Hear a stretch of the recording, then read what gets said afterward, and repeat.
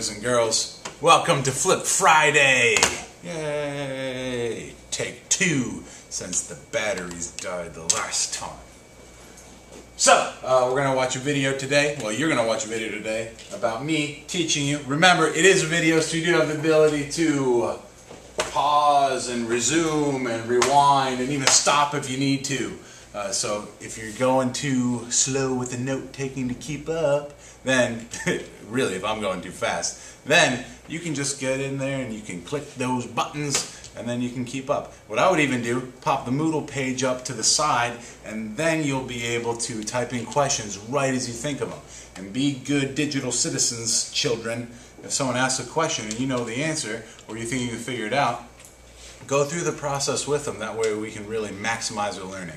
Now this is not only the last Flip Friday of our unit, but this is the last lecture of the unit. Remember, test on Wednesday. Be prepared. After this, we've just got labs in between us and learning.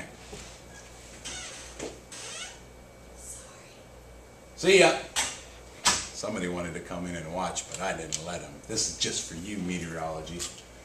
All right, so we're going to talk today about weather modification. Uh, really we're going to focus on the things that are actually possible for us to do. Back in the 60s, uh, 1962, it got cut in 1983, the U.S. military wanted to be able to uh, really regulate and control hurricanes. And that was one of the things they were like, by 1983, uh, we're going to be able to swing hurricanes and we're going to save American lives by sending them to Cuba or other places that we hate. So, yeah. That's not really a thing that we can do, otherwise uh, Katrina wouldn't have been a thing. And then on top of that, there's another program that was actually uh, proposed in 1996, and the Air Force ran with it a little bit with the goal that by 2025 they would be able to control and start weather and just like wreak havoc on our enemies. So if we went to war, say in the Middle East, we could kick up a sandstorm to end all sandstorms. If we went to war like in Korea, we could like hit them with lightning and hail and craziness. And in 2003, they were like, yeah, um, that's not really a thing. But if you want, I'll put this link here down in the description and you'll actually be able to read the report that was presented by different people in the military of the things that we should be able to do by 2025. None of which uh, we can really do. However, there are three different categories of weather modification that are actually possible. There are ones that use tons and tons of energy. They expel lots of energy and make some modifications. Those are usually pretty low to the surface. And then there's ones that actually alter the land, like you can actually change the landscape and you can think of stuff like, you know, if you're in the city, it's hotter, stuff like that. So you can change the surface topography to actually make uh, the atmosphere around it have a different radiant heat profile and therefore alter the weather. And then there's also ones that uh, work with the atmosphere. And these are the ones that we're going to focus on today that are pretty cool. Uh, stuff that will either trigger, alter, or intensify the weather. And these are things that are uh, not uh, the triggering doesn't work so well. We can't really trigger weather out of nowhere, but we can alter and or intensify uh, existing weather, and we have had some moderate success with those. So we're going to get into uh, some of the real weather modification practices that are actually in use right now. One, a big one, uh, China's especially looking to do cloud seeding. I showed uh, another video on that. Maybe I'll description click things. You can watch the video again if you missed it last time. There's actually also fog and cloud dispersal, which is the opposite of cloud seeding. There's hail suppression, where we're tired of people being hailed so much, so we suppress it. And then uh, frost prevention, which is a big one for agriculture. And the frost prevention, that one probably has the most uh, practical usage. So let's get into it. Uh, cloud seeding, again, we've talked about this. You basically shoot particles up into the air that will cause clouds to form more. It's not something like we can't just make clouds appear in a clear blue sky with no clouds. You've got to have that water vapor. You need to have existing clouds. But if we use silver iodide, it actually works as a very nice freezing nuclei that will cause clouds to develop, especially get more vertical development than you would otherwise be possible, and really turn those cumulus clouds into some cumulonimbus clouds and get some nice steady rain in the drier parts of the world. And salt flares is another one that has been used quite often. Shoot them up really high because that's a very nice hydrophilic nuclei. In addition to that, uh, so there's been some studies using different mountain clouds, those lenticular clouds, and sort of to expand on those and really get them to seed out and move to rain on the other side of mountains instead of just the one side of mountains. And uh, also, I showed you pictures earlier how pollution can add to the clouds. Also, these uh, are types of pollution uh, that could uh, damage the atmosphere. So there's that.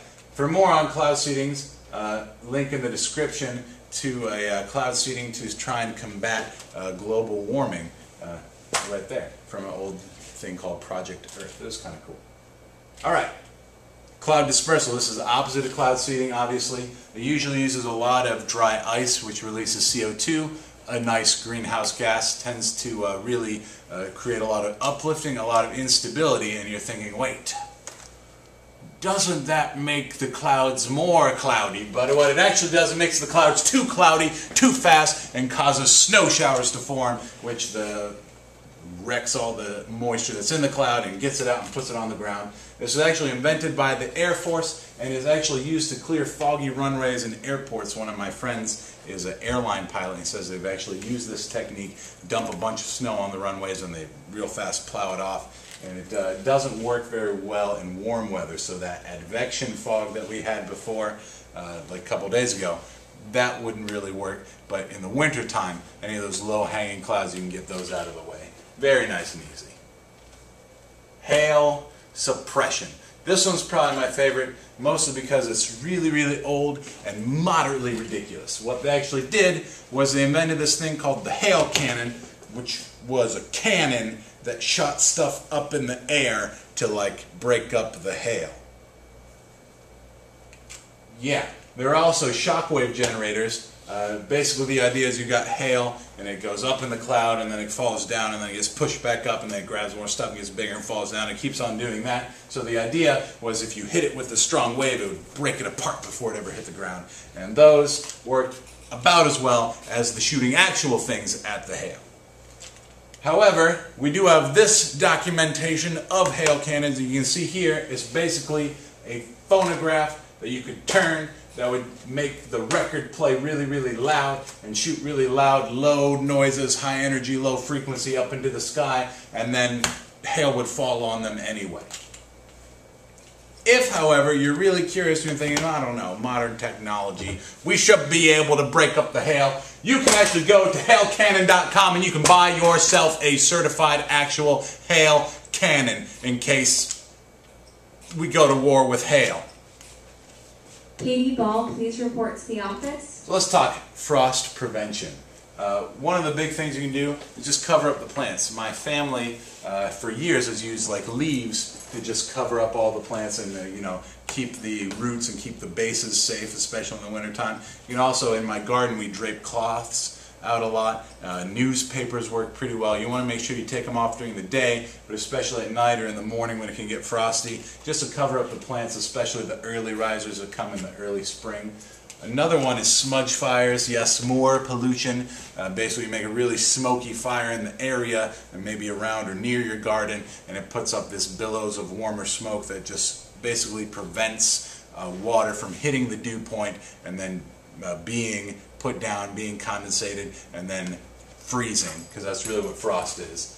And then there's air mixers, which are really big fans that sort of do the same thing, sort of stop the water from being deposited in the first place from precipitating out. And then uh, warm water shower, sounds exactly what it is. They take hot water or warm water because you don't want to kill the plants, and they just water the garden with it all night long. So the idea is then, you know, it won't freeze because it's warm, and I'm sure that's not expensive at all.